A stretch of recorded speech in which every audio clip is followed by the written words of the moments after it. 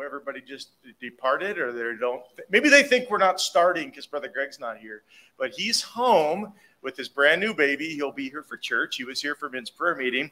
But i get to do the opening song this morning so he can uh, be there with his baby and wife. 656 let's stand today.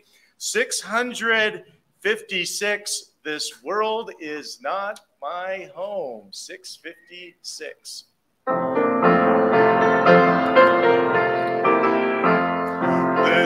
This is not my home, I'm just a passing through. My treasures are laid up somewhere beyond the blue. The angels beckon me from heaven's open door, and I can't feel at home in this world anymore. Oh Lord, you know I have no friend like you. If heaven's not my home, then Lord, what will I do? The angels beckon me from heaven's open door, and I can't feel at home in this world anymore. They're all expecting me, and that's one thing I know. My Savior pardoned me, and now I onward go. I know He'll take me through, though I am weak and poor, and I can't feel at home in this world anymore. Oh Lord, you know I have no friend like you. If heaven's not my home, then Lord, what will I do? The angels beckon me from heaven's open door, and I can't feel at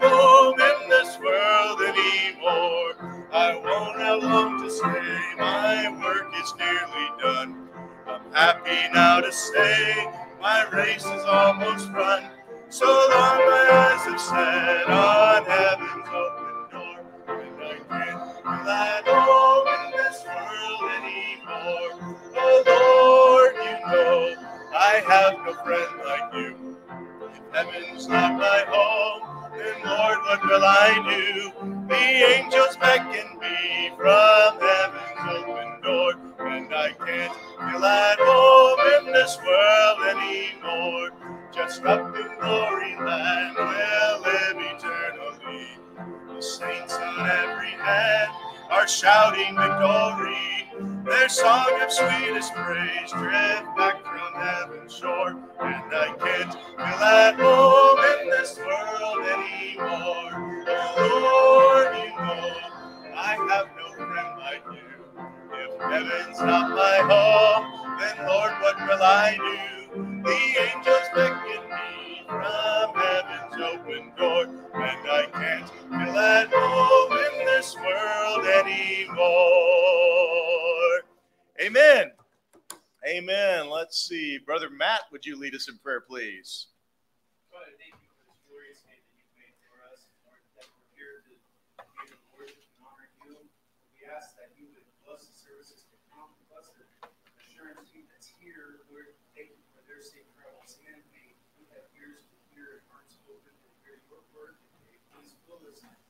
Anybody's here that doesn't know you as Savior,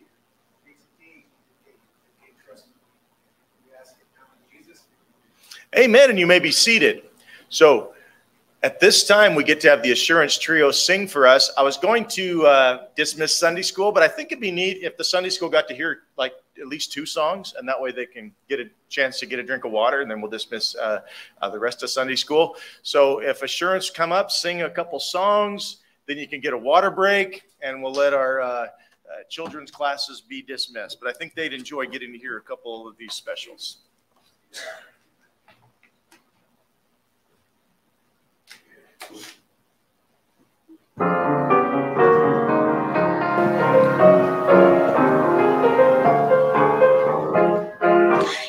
Is great, God is good, God is merciful unto all who will call on his name.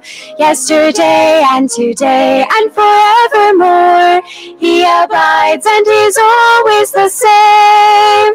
God is great. God is good. God is he is merciful. And he seeks for the soul gone astray. God is great. God is good. God is he is merciful. And he sees from his throne, day by throne each day. He is waiting to bless every, bless every soul through his son who on Calvary died. Calvary died. God is Great, God is good, God is He is merciful, With the arms of His love love open open wide.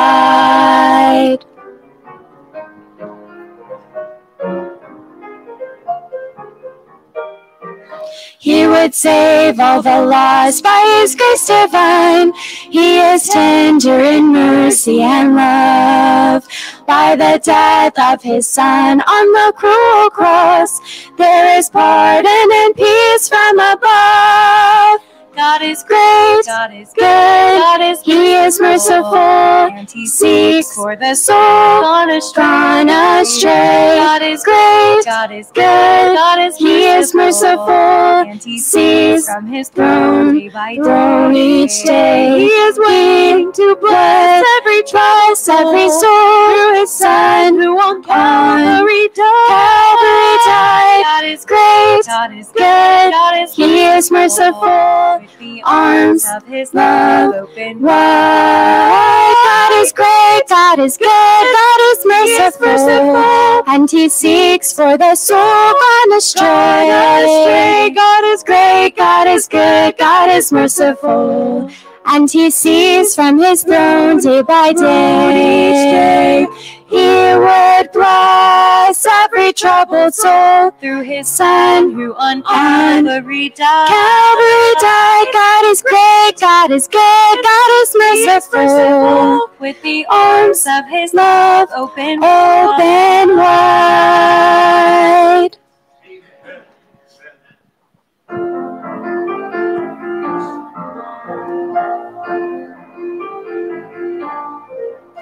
If it seems I look just a little weary, I've just come through a storm. If it's strange to you that you find me smiling, let me tell you more. Jesus found me distressed and lonely. The winds were beating down. He held me close while the thunder rolled and gave what I have now. He gave me joy, real joy, unspeakable gladness, a peace I had not had before. In the storm, in the storm, He took away the sorrow, gave hope for tomorrow and more. He gave me joy in the storm. He gave me joy in the storm.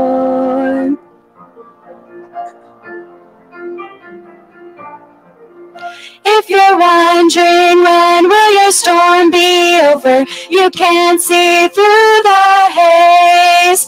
And you thought that God would leave you never, but you're in a lonely place. Bow your head and seek the Master. He'll give you what you need. A shelter for your hurting heart, just like He did for me. He gave me joy, real joy, unspeakable gladness, a peace I had not had before. In the storm, in the storm, He took away the sorrow, gave hope for tomorrow and more. He gave me joy in the storm. He gave me joy in the storm. He gave me joy, joy, unspeakable gladness, a peace I had not had before. In the storm, in the storm, He took away the sorrow, gave hope for tomorrow and more. He gave me joy in the storm. He gave me joy in the storm. Yes, He gave me joy in the storm. He gave me joy in the storm.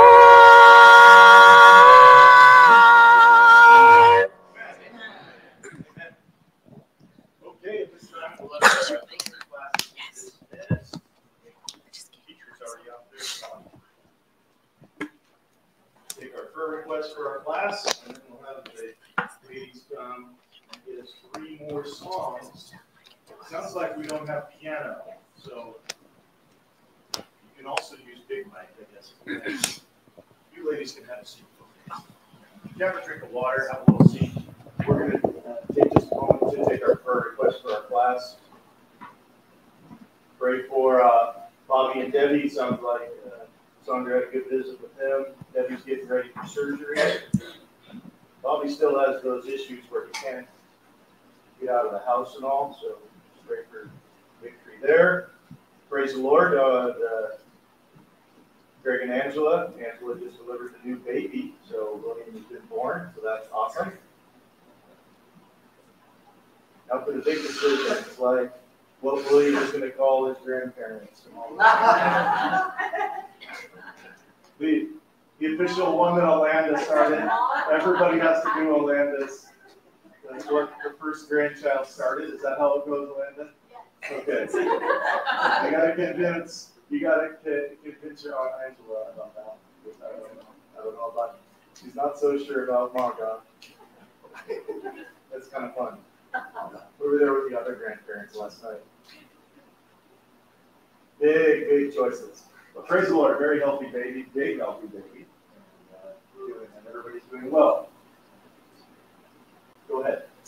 Um, so Blake was in the hospital for a week and now he's over at Sunshine Rehab. Okay, Dwayne's at rehab. And then my mom's not doing well, that's all. No, okay. Mom, Mary, uh, is Christ, and is well. Pray for her. Um, and it's nice to have Sophia with us at least today. Where are you going next? Uh, Homish. Hang out with your parents for a little. Good to see you. Other, yes? Here's for your mom. My mom's needs, yes. Getting the procedure done tomorrow. And, uh, just for guidance on future. Brother Matt? Chris is looking for wisdom and new job possibility. Oh, He just had an interview looking as well. for Chris, okay. Chris been visiting his daughter Samantha's husband, yeah, got that right. Uh, Chris is looking for the right job. Possible. And Brother Dale? I get to, uh, be a specialist for my AFib, uh, third of August. Third, okay. The day we leave for Mission Strip, Brother Dale will see a specialist about his heart. I hate that can, they get the right, that'll really make a big difference for you, sure. Brother Dale, anyone else? Yes, Brother Lewis? Yeah, for Aaron and Garrett, we're going home right now, I have not spoken. Lewis has an unspoken. Aaron and Garrett traveling.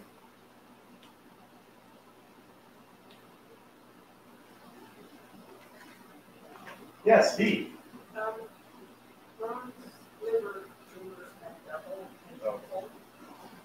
And so he's there. And he knows the Lord, right? Ron's uh, tumor in his liver has doubled and tripled, so pray for the family there. Yes.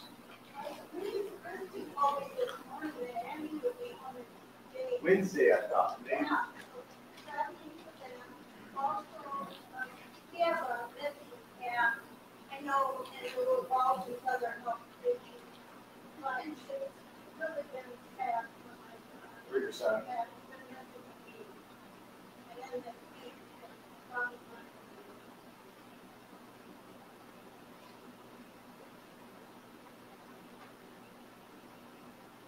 How's your son doing?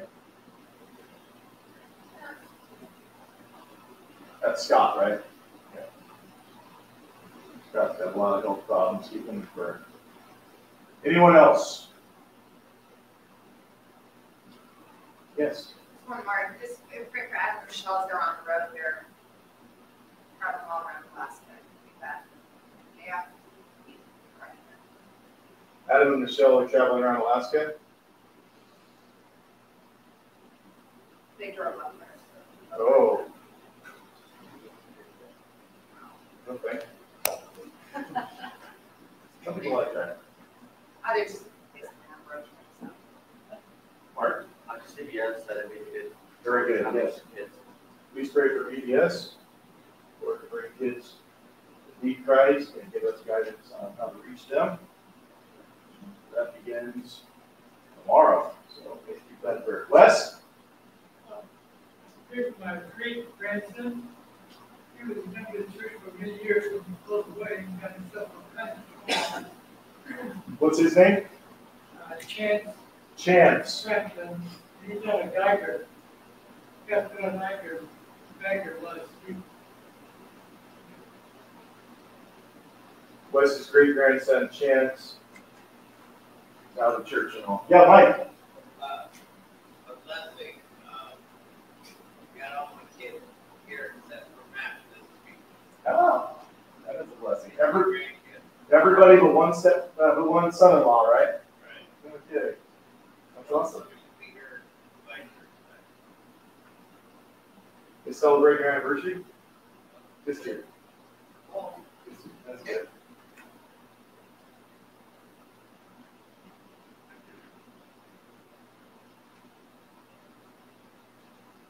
All right, anybody? Let's pray. Father, we thank you. We get to be here at church this morning. Thankful assurance here with us, and already encouraging, blessing us with their music. Pray that you strengthen and use them throughout the day for your glory.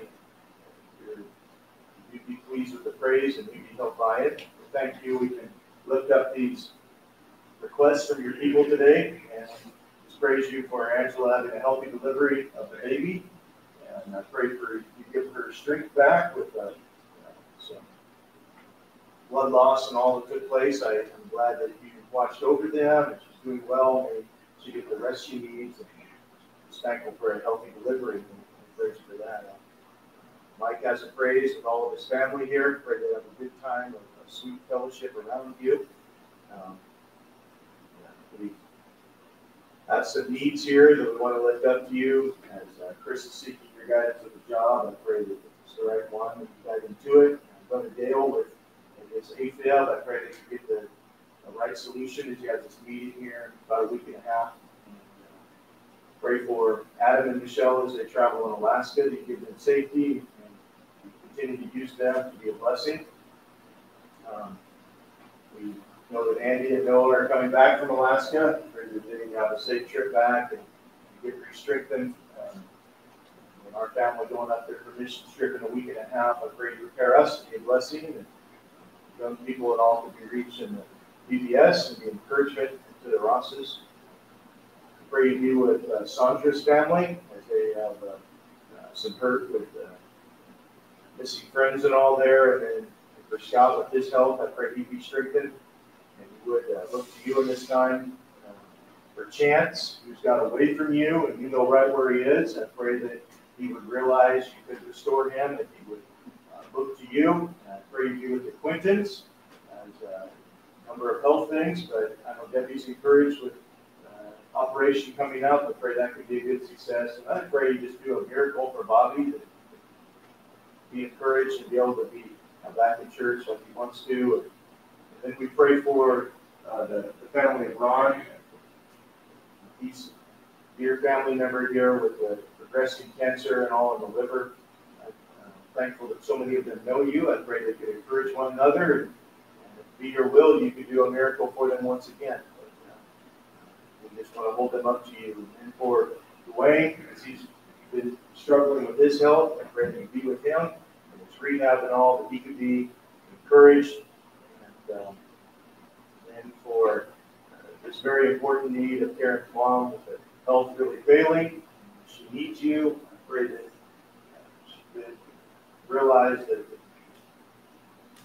maybe she knows, but having a hard time recognizing or admitting that the salvation is not in a Catholic church, but she needs her son. So uh, I pray she would humble herself before you. Pray for my mom. The procedure she gets done tomorrow will be a help with her knee pain, so she can enjoy their 50th anniversary celebration and trip and all, and then you give guidance for a, a bigger solution soon. Be with Aaron and Garrett as they're traveling, and give them safe passage. Um, we're thankful Sophia is, is here with us today and the good trip you gave her, and I pray that she can be a blessing as she goes to uh, back to Snohomish. And uh, she be encouraged and continue to guide her for her future. Then Brother Lewis has an unspoken on his heart. I pray according to your wisdom and grace that you would see that need. We uh, just look to what you have for us here the rest of the day. As we committed to you, we seek you to do what only you can. And bless the young ladies as they seek to minister to us now. In Jesus' name, amen. Okay, so we'll invite Assurance back up here to sing for us. And, uh, look forward to what we get here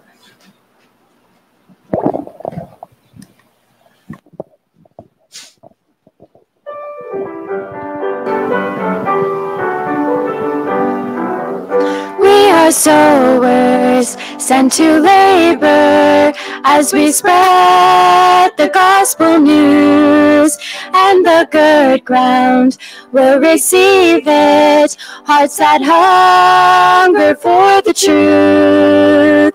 Bearing precious seed, we go out to sow with joy, knowing that God's word won't return to him void. To the fertile field of a world that's lost in need, we go forth in the power of the Lord, bearing precious seed. He sends raindrops and the sunshine as we watch the harvest grow. We'll keep praying as we're planting, reaching to the uttermost. Bearing precious seed, we go out to sow with joy, knowing that God's word won't return to him void. To the fertile field of a world that's lost in need, we go forth in the power of the Lord, bearing precious seed, bearing precious seed. We sow with joy, knowing that God's word won't return to him void. To the fertile field of a world that's lost in need, we go forth in the power of the Lord, bearing precious seed. To the fertile field of a world that's lost in need. We go forth in the power of the Lord, bearing precious seed.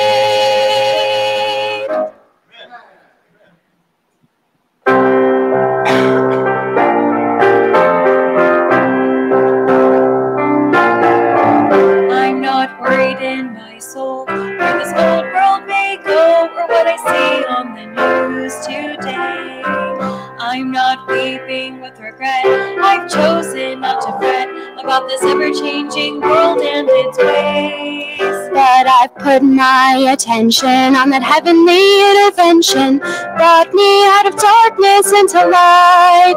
It's not mind over matter, it's more than worthless chatter. It's all about the blood of Jesus Christ. I still have a Bible, a guide to survival that's brought me to this place.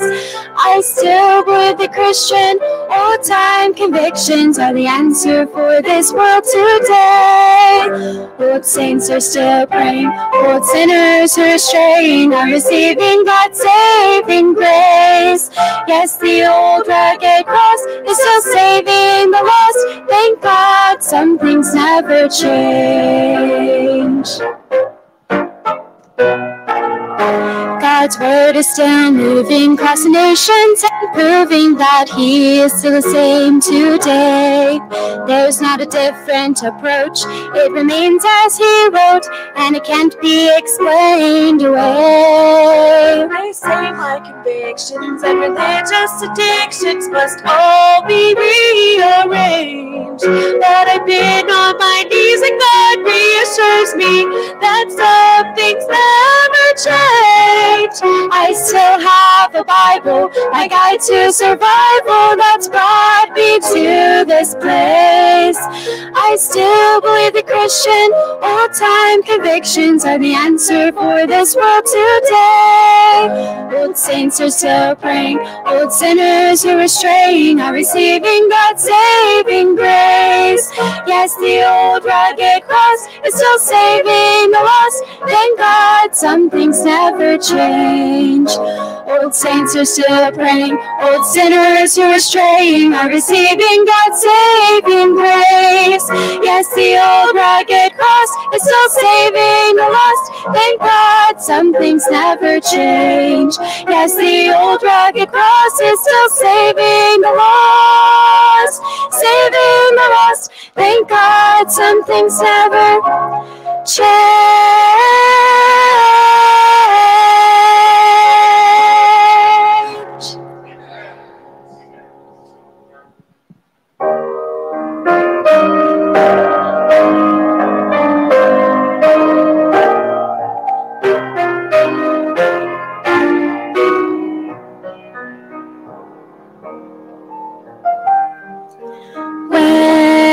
Dark shadows fall around me, when the day turns into night, I am safe within. His keeping, for He draws me to His side,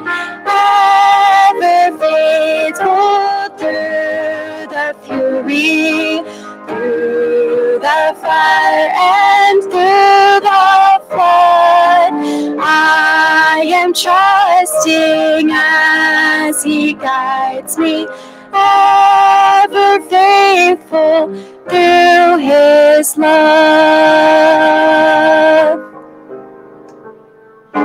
Looking back, I see more clearly, and my heart will not forget the ways His grace has kept me. He has never failed me yet.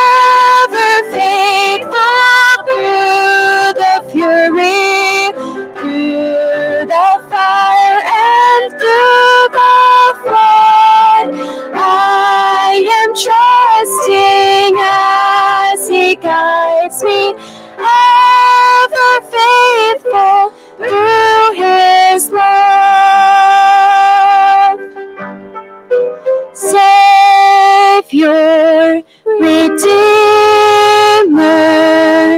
Comforter and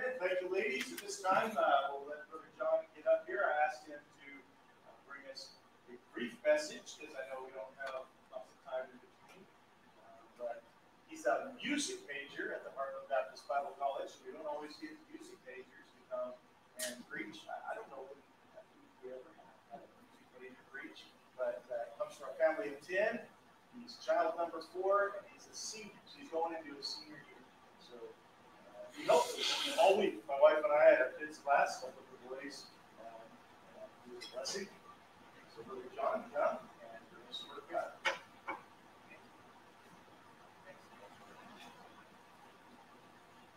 I was going to introduce myself, but he basically just said everything about me. So that's all you guys need to know. Um, that's it. So I'm, I'm from Virginia, and uh, the ladies will will give the, the formal introductions later in the morning service. But um, yes, I am the fourth of 10, and uh, yes, that is a lot of kids. and, uh, and I'm a lot more comfortable behind the soundboard than behind a microphone. So um, just for this, for y'all's sake and for my sake, this morning I'll try to remember the five B's of public speaking. Be brief, brother. Be brief. All right. So um, let's. Uh, I I just want to say I really appreciate um, the the music and getting to travel with um, with the ladies, just being able to hear these songs over and over again. And uh, people say, "Do you get tired of the songs? Do you get tired of the songs?" Well, um, not really. No, they they become more special as the summer goes on. Um, at least to me, that's that's kind of how I look at it. That um, every place we go just gives a new a new special um, aspect of the message of that song. And the song they finished up with, "Ever Faithful," kind of ties into the lesson this morning. I'm, I'm thankful for that. I'm thankful we serve a God that's faithful to us, even when we're not faithful to Him. And uh, He's ever faithful. His promises are faithful. His word is faithful. His character never changes. It's always the same. And even when we fail and we sin, um, he's faithful and just to forgive us our sins and cleanse us from all unrighteousness. So let's turn to Proverbs chapter 20, verse 6. It's kind of a, uh, this morning we have a little bit of a topical, um, I guess, topical kind of lesson. I'll, I'll, try to be as expository as I can, but um, that's just kind of the nature of it this morning. And so um, I want to start off in Proverbs chapter 20 and verse number 6, but we'll actually move to a couple different passages of Scripture through the lesson this morning. So let's go ahead and read our text and then we'll pray into it. The Bible says in Proverbs chapter 20, verse 6 Most men will proclaim everyone his own goodness, but a faithful man who can find? A faithful man who can find. Let's pray.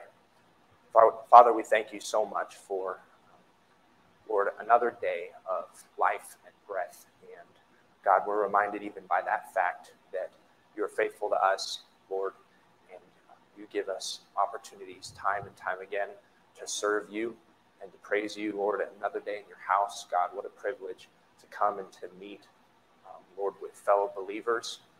And Lord, just to seek your face and to encourage one another.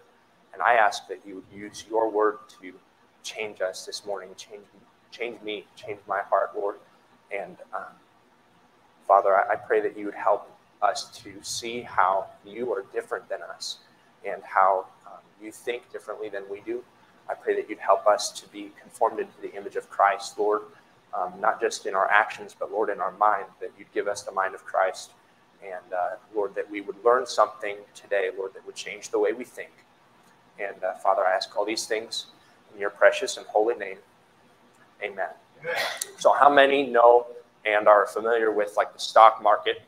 Anybody invest in the stock market? Have any money in stocks? So, um, in investments, there's, there's a contrast that you can discover between stocks that are volatile and stocks that are more stable.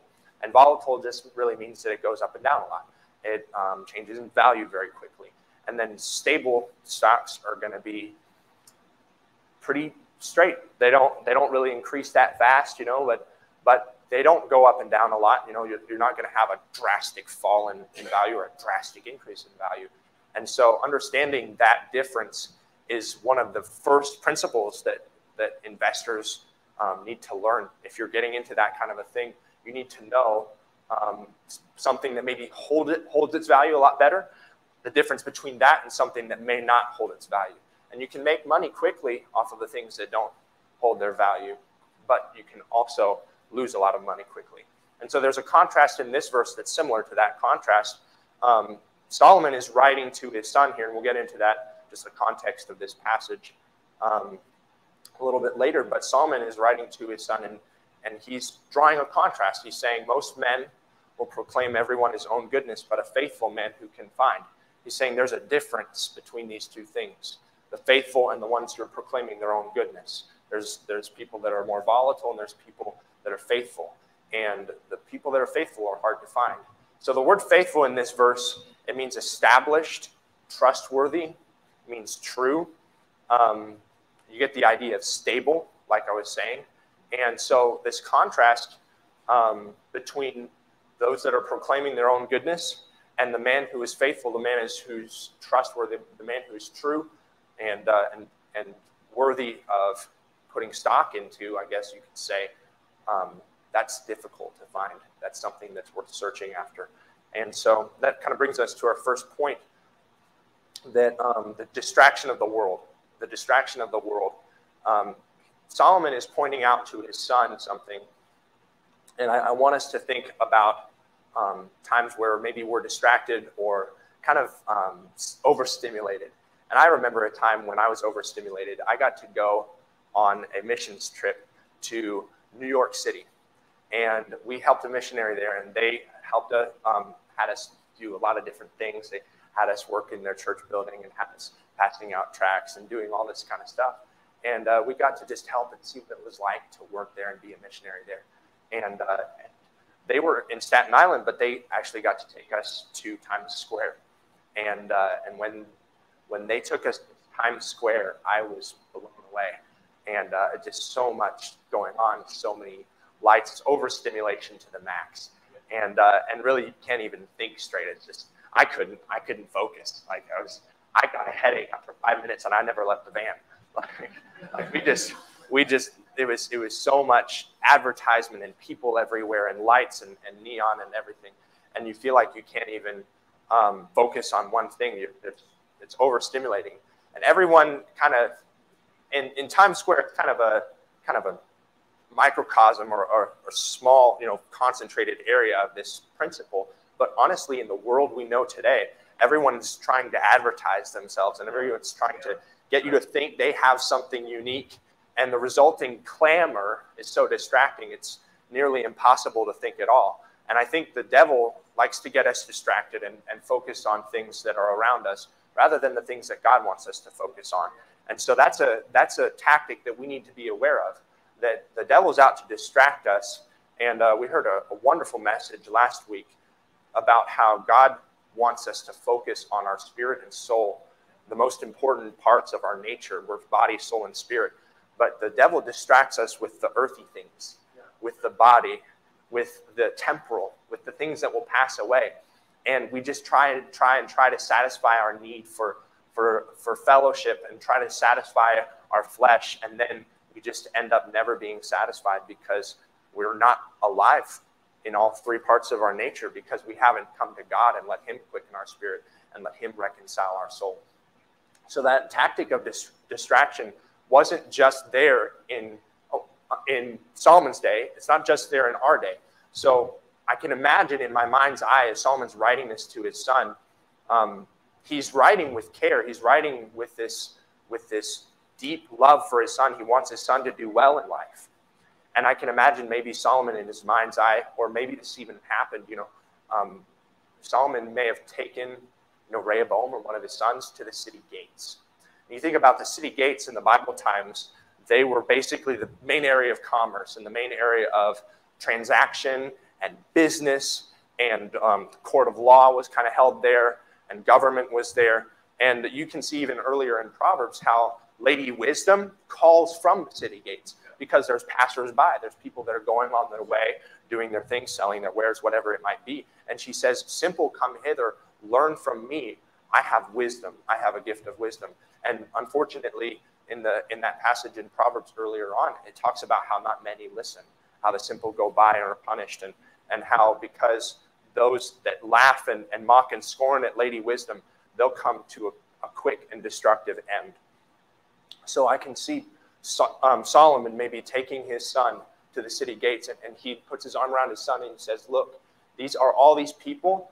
They're distracted. They're distracted with boasting of their own goodness. They're distracted with proclaiming their own goodness. They're being boastful, and they're not they're not focused on what God wants them to focus on. We live in this overstimulated society, and um, you know you can encounter this all kinds of different places. But I think you know I use the picture of New York City, and that story is real to me because I just remember that so vividly. But even like places like the internet, and social media. You know, everyone's just proclaiming their own goodness and, and distracted by that which really doesn't matter. And that brings us to our next our next point. And uh, and so we saw the distraction of the world and how everyone's just focused on the wrong thing, but the, disillusionment, um, the, the disillusionment of the world, the fact that that everyone's focused on their on what's temporal, on getting the praise of men, on boasting of their own goodness, but in the end, it doesn't matter. And so I can see Solomon saying to his son, you know what? They're all focused on something, but it doesn't matter in light of eternity. The, the praise of man, that's not going to fulfill you. That's, that's not going to, uh, that's not going to bring any long um, satisfaction for the longing you have. And too often we live for the praise of men as Christians when we know from God's word it's empty. When we know for, from God's word it's, it's not going to bring anything. And you see these people who live their whole lives for fame and live their whole lives for fortune. And, um, and they get to the end of it all and they say, man, it was, it was a waste. You know, I, I got to the top and I realized it's lonely because of the fact that none of these, the things that this world can offer will satisfy. So, you know, there's examples in the Bible you can see all around people that are distracted, people that are going to be disillusioned because it's empty. It's the praise of man isn't isn't going to do anything for them. But you, you think about maybe even the Pharisees in Matthew chapter 6. Turn to Matthew 6 with me, real quick. Jesus is giving the Sermon on the Mount, and um, he's, he's teaching, and uh, he's talking to all these people, including his disciples. He's teaching his disciples, but he's teaching others about how to live maybe the, the life that exemplifies the kingdom that he's going to bring, the life that exemplifies um, who Jesus wants the Christian to be. And he talks about a lot of different things. And in Matthew, Matthew chapter 6, the, in the first verses, he says, um, first verse of Matthew 6, take heed that you do not your alms before men to be seen of them. Otherwise, ye have no reward of your Father which is in heaven. Therefore, when thou doest thine alms, do not sound a trumpet before thee, as the hypocrites do in the synagogue, synagogues and in the streets, they may have glory of men. Verily I say unto you, they have their reward. They have their reward, he says. Let's look at verse number five. When thou prayest, thou shalt not be as the hypocrites are, for they love to pray in the synagogues, standing in the synagogues and in the corners of the streets, that they may be seen of men. Verily I say unto you, they have their reward. Verse number 16, go down. Moreover, when ye fast, be not as the hypocrites of a sad countenance, for they disfigure their faces that they may appear unto men to fast. Verily I say unto you, they have their reward. He said that three different times, and he's trying to drive this point home that these Pharisees are consumed with something that doesn't matter. They're trying to get the praise of men, and their reward is fleeting. Their reward doesn't last. They, they've gotten all they're going to get it, it's, it's never going to get any better than that because they're not doing it for the right reasons. And so that brings us to the third, the third um, principle we need to learn from this passage, and that's the discernment that God wants us to have. We saw the distraction of the world, and we saw the disillusionment of living for the praise of men, but the discernment God wants us to have. God says through Solomon, to Solomon's son, and, and therefore to us, that a faithful man is hard to find. Faithful man who can find? It's kind of a rhetorical question. That man who's trustworthy, who's established. It's it's unusual. It's hard to find something like that. And every day we're faced by people who are living in this paradigm of of searching for praise of man and searching for this world's good and searching for the approval of others. And we need to have a biblical response to that. We need to think that God, the way that God thinks, and not the way that man thinks. And so often, I think in, in passages of Scripture, we'd be helped if we think how God thinks rather than how we think. And let's, let's look at the way God thinks. God values faithfulness. God wants us to respond biblical, biblically.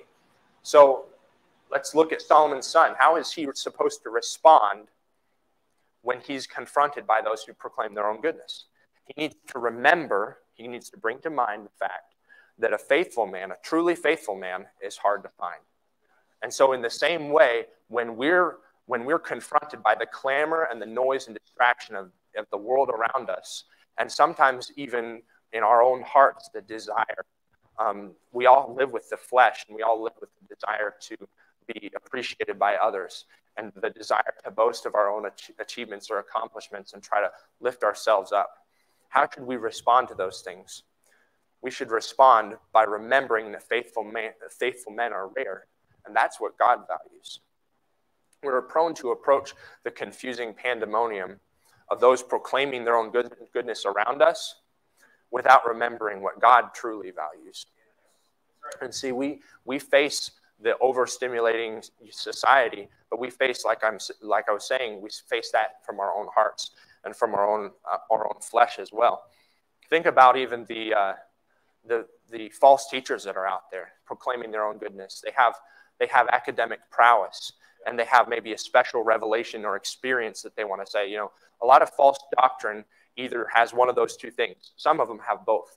But a lot of false doctrine will tell you we have a special experience that means you should believe in us. And they boast of this experience. And, the, and then the other thing that allures people in is, is like this academic prowess or special knowledge. And so those two things can really lure people in and, and they boast of their own goodness and they say, well, we have this special experience from the Holy Spirit where you'll get struck down by lightning from the Holy Spirit and roll around on the floor. And, and that's something that nobody else has. And so, man, we, we should, you know, we should, you know, you should listen to us because this is authoritative. Or we'll say, you know, we know more about the Bible and, and we know all these special languages. And, and, you know, if you really think about it, God, God didn't die for everyone. The, the Lord Jesus Christ wasn't sent to save everyone. And that's not true. That's not true. The Bible says that he died for everyone. And God, God's not willing that any should perish, but that all should come to repentance. And we need to be aware of those things in the world around us. And we, we need to be aware of the people that, that proclaim that maybe other versions of the Bible are right. It's, it's not that big of a deal. The King James is difficult to understand, anyways. They're proclaiming their own goodness. But then, even in our personal interactions, we need to remember that faithfulness is what's valuable, not boasting of, you know, not the praise of man. Because we need to have relationships that are faithful. We need to be faithful in our relationships, and we need to seek out friendships that are faithful. We need to, we need to, you know, even thinking about what church you go to. You can go to a church that gets a lot of praise of man, that has lights and has a lot of flashy things and fancy stuff, but they're they're living for the wrong thing and they don't have that faithfulness, they don't have that steadiness. Christians today are quickly impressed, but if we stay our minds on the faithfulness of God, we'll have the right perspective because we need to remember that God is faithful, first of all, but then God is looking for people who are faithful. And that brings us to the last point that we have from the text this morning, and that's the dedication that we need to have to being faithful. You see, God's economy, God's value system, and the world's economy could not be more different. Um, God's valuing a certain thing where people around us and, and in our own hearts, we deceive ourselves to value the wrong thing. We value the approval of those around us when we need to just live for the approval of God do things as unto the Lord and not unto men. And we must keep this lens in place, the, the, the way of seeing the world the way God sees it, that the heavenly perspective. Faithfulness is more rare and valuable than all the advertised merit and praise of man that the world has to offer. So you could take this and, and look for look at the world around you, and, and really that's the first application of this passage that that we need to be discerning as we walk through the world. We need to walk wisely because we need to realize that not everything that is glittery and flashy is actually valuable according to the, according to God. And we can easily get distracted by things that don't matter for eternity. So we need to have that discernment. We need to know that going into life. But then you can turn that lens right back. And this is where it gets convicting because what about us? Are we faithful? Are we a valuable resource according to God? Does God look at us and say, Man, I can trust him. I can trust that individual. I can trust her. I can give them a task and they'll complete it no matter if anyone sees them. I can convict their heart and they won't they won't, you know, be looking for the praise of man. They'll just get it right with God and move forward. And and a lot of times we can focus on the outward, and yes, we need to have discernment, but man, is it not convicting to realize that so many times we are unfaithful to the God who's been so faithful to us? Charles Bridges said this We all condemn the open boasting of the Pharisee, but too often we're eagerly clutching for the good opinions of this world. Contrivance is like the effort. We're contriving, we're, we're scheming, we're making effort is made. Contrivance is made to gain a shadowy prize. A seeming backwardness, backwardness, a false humility, is only in order that others may bring us forward. We're falsely humble just so that others can promote us and then we'll be satisfied, right? Look close and view thyself in the glass of the word. Does thy neighbor or thy friend find thee faithful to him? And I would add, does your God find you faithful to him? Let's look lastly in Matthew chapter 25. Matthew chapter 25 this morning. Let's try to wrap this up here. Um, Jesus is talking to his disciples, and the context is, is I'll just read the context because it's important. In verse number in verse number one of chapter 24, and Jesus went out and departed from the temple, and his disciples came to him for to show him the buildings of the temple. And Jesus said unto them, See ye not all these things? Verily I say unto you, there shall not be left here one stone upon another that shall not be thrown down. So Jesus is talking to them about the future of the temple, and the and the disciples are like, Look at this amazing temple, and and he's like, It's all gonna it's all gonna pass away, it's all gonna perish.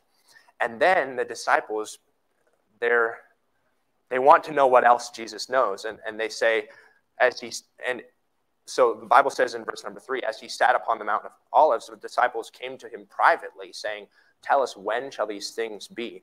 So, so what were you saying earlier about the temple? We, we want to know more about that. Tell us about the last times.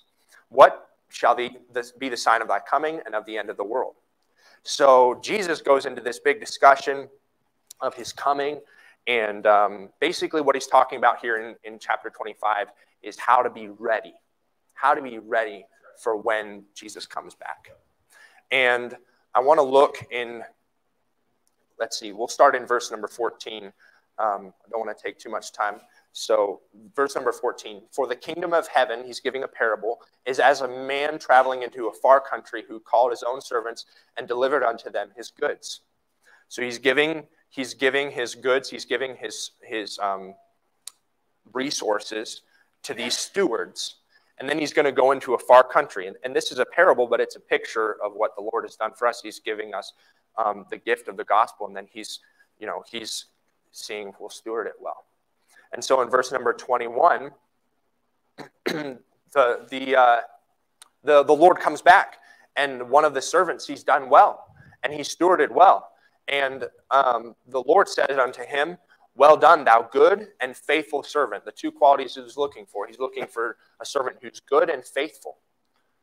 Thou hast been faithful over a few things. I will make thee faithful over many things. Enter thou into the joy of thy Lord.